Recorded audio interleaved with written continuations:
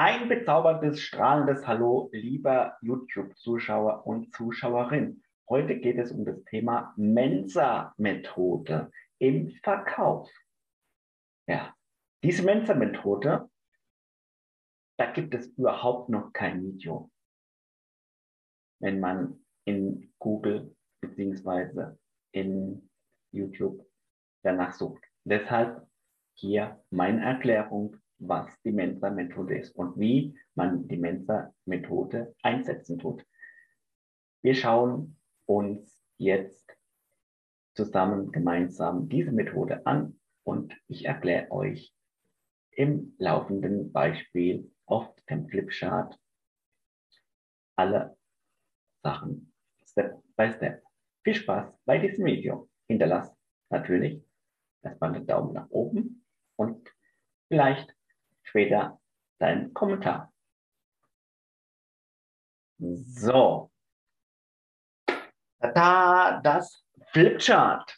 Und zwar die Mensa-Methode. Nicht verstehen mit der Mensa in der Uni, in der Fachhochschule und so weiter, wo man essen gehen kann. Nein, es ist die Mensa-Methode im Verkauf, im Vertrieb, im Allgemeinen. Und zwar gehen wir drauf ein, was die Mensa-Methode so beinhaltet. Ich habe es extra groß geschrieben.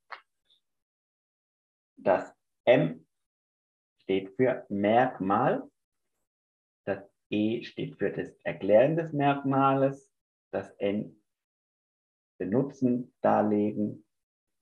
Das Sie, das S für das Sie im Standpunkt der adressierten Kunden, Kundinnen beziehungsweise auch Partner und danach die Abschlussfrage.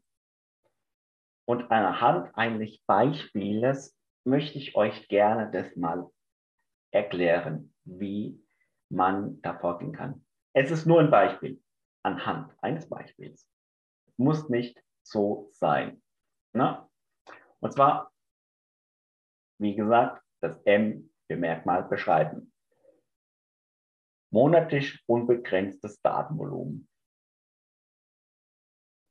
Erklären des Merkmales keine Drosselungen des Datenvolumens wie bei 20 GB Datenvolumen. Na, bei 20 GB Datenvolumen ist ja irgendwann mal Ende des Monats oder Anfang des Monats wieder oder Mitte des Monats bei meisten die Knappheit, dass sie kein Datenvolumen haben. Auch bei 6 GB oder 8 GB. Meisten reichten es ja nicht aus. Und deshalb ist die Erklärung des Merkmals keine Drosselung des Datenvolumens, wenn man das unbegrenzte Datenvolumen hat. Na. Nutzen darlegen, das ist damit gemeint, man kann so lange streamen, wie man möchte, ohne darauf achten, auf das Datenvolumen und den Verbrauch des Datenvolumens. Die Sie-Standpunkt des Kunden zu adressieren. Ne? Das bedeutet für Sie konkret Herr Müller, Frau Meier, Schmidt und so weiter und so fort. Also das Namen des Kunden immer ansprechen, Frau Nachname am besten. Und dann noch die sogenannte Abschlussfrage.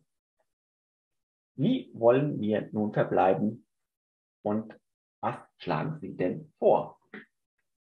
Das sind natürlich mehrere. Ich habe jetzt beispielsweise zwei Abschlussfragen mal reingelegt. Und danach könnt ihr mit dieser Methode eure Produkte, eure Dienstleistungen verkaufen.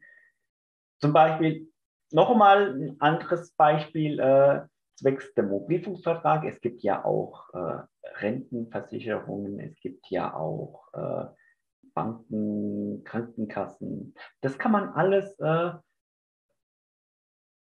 ergänzen und austauschen. Ne? Ich habe es jetzt quasi aus dieser Mobilfunkvertragssachen äh, geschrieben, weil ich daraus auch meine Trainings mache, weitgehend, aber kann das auch noch für die Möbelhausbranche machen, für die Baumarktbranche machen, für äh, die Banken machen.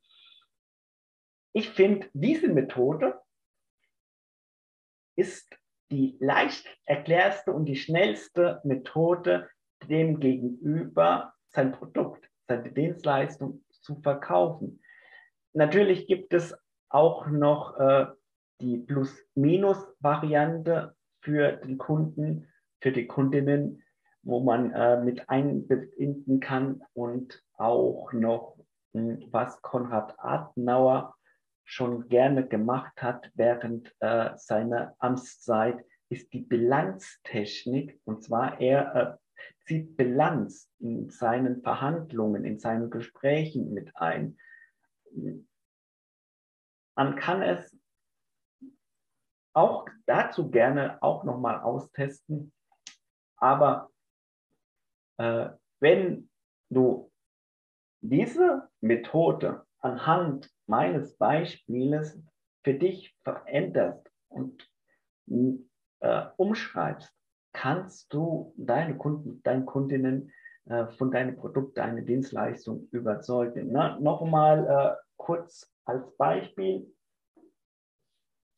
M ist Merkmal.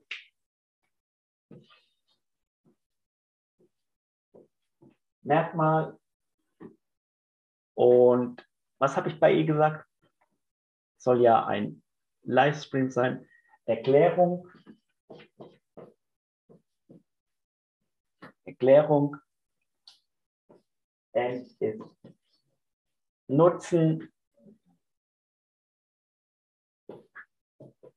Es ist für Sie und dann der sogenannte Abschluss. Ja, wenn man das für seine Produkte, für seine Dienstleistung dann als Beispiel formuliert, so dass man das Merkmal so kurz wie prägnant erklärt dem Kunden, was er von einem bekommt, dann ist schon mal für den Kunden kein Einwand da. Ne?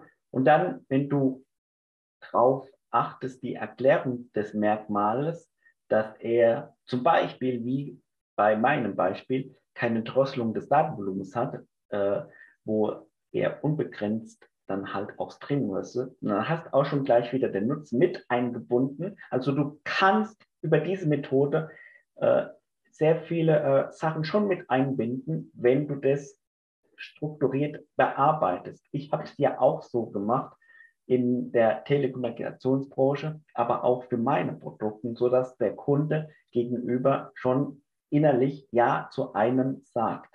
Ja zu dem Verkaufsvertrag, Ja zu dem äh, Dienstleistungsvertrag, Ja zu diesem Beratungsvertrag.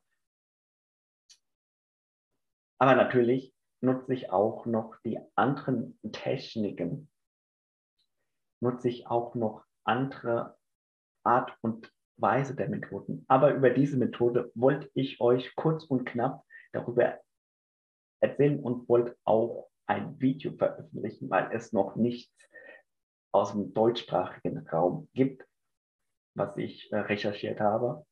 Deshalb, ja, wenn es dir gefallen hat, dann Daumen nach oben, hinterlass einen Kommentar und stell die Glocke ein. Ich wünsche dir noch viel Spaß und ja, schau dich gerne auf meinem YouTube-Kanal um.